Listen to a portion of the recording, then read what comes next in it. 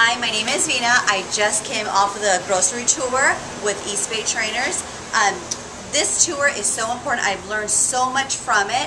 Personally, I've been with them for about four months. I haven't been able to come to the tour, and now that I've come, I have learned so much from it. Um, I know what I was doing wrong my eating. I do honestly believe that I would have doubled my weight loss if I would have came to this tour sooner.